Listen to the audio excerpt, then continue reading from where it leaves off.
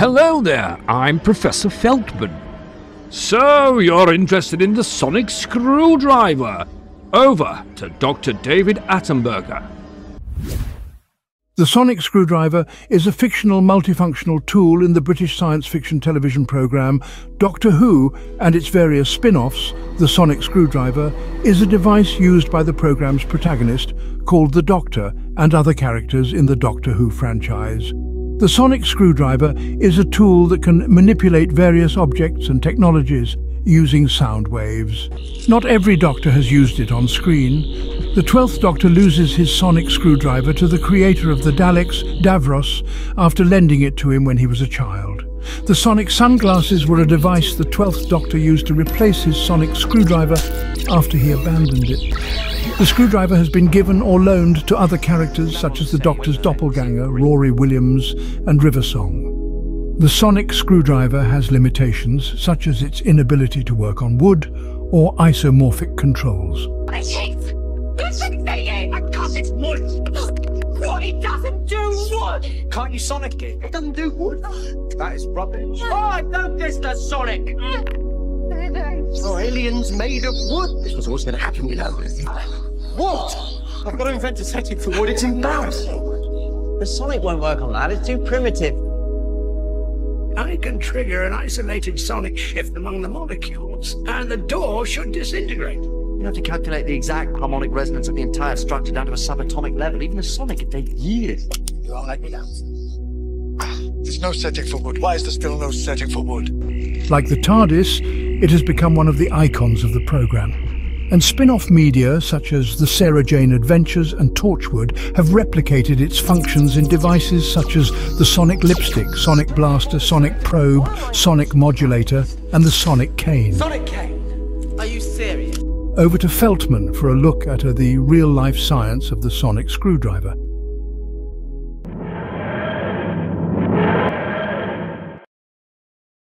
Dear, it looks like I've landed on Attenberger.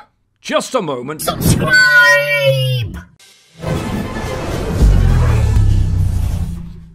And we're back. Attenberger is okay, is in the hospital having stitches. Well, he is a felt puppet. Over to Professor Brian Socks for the science bit.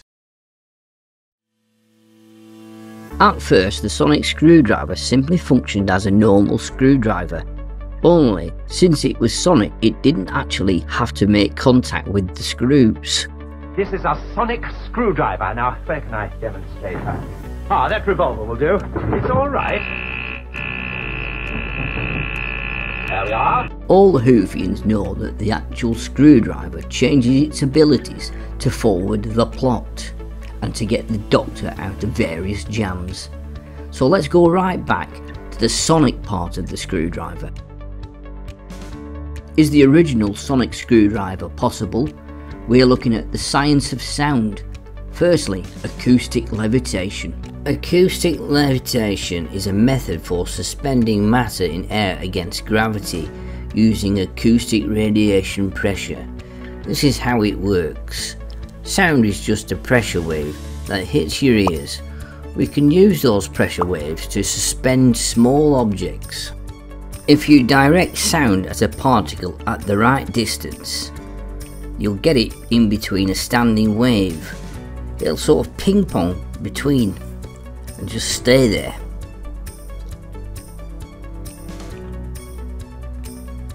The particle has to be smaller than the wavelength or this won't work.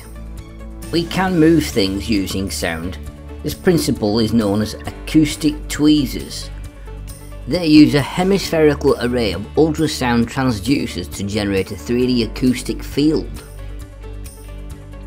Most of the examples here are small polystyrene beads, which is not much use for the Doctor unless a Dalek's made out of polystyrene and is very small. So, the technology we have today is nowhere near as good as a Gallifreyan would have. But it's nice to know that there is some grain of science fact behind the longest running science fiction series. Back over to Feltman.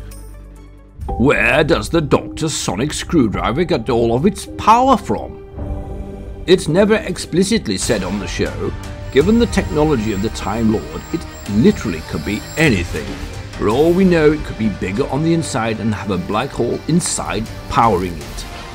It has on occasion needed to be recharged, but again we never got a story and told us. Unless you know differently, please let me know in the comments. The sonic screwdriver has evolved over the years from a handy tool for assembling an IKEA flat pack to a multifunctional tool that can create a force field to protect you from danger.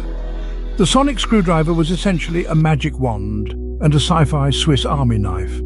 It has always kept its screwdriver-type shape until the 15th Doctor. Now it looks like a television remote, among other things. It has an ergonomic Apple Store aesthetic design, more of a sonic device than a screwdriver. In retrospect, with our current technology, it looks like a sonic screwdriver is technically out of our reach. But the nearest thing you have currently with that future potential is your mobile phone. It's an entertainment center, it's a torch, it's a dating device. Want to get rid of enemies, or at least make them look stupid? Then download the app. Subscribe!